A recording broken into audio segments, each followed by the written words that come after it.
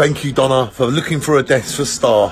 Thank you for saving us going out because it is pretty cold and we've lit the fire already. Star wants to say thank you for helping us look for a desk and all the things that you do and all the birthday presents you got her. Star, what would you like to say to Donna? Thank you. And you'd love to say thank you and you love Donna and her mum and dad, didn't you? Oh, look at that. That is love, Donna. The Star does love you. And so do I. Don't we love Donna Star? And look at that. That is real love. And even Dylan and Simba love you. Look.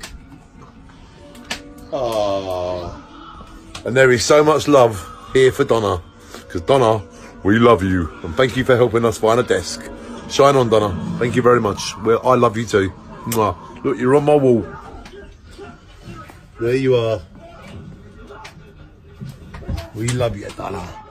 With Abraham and me.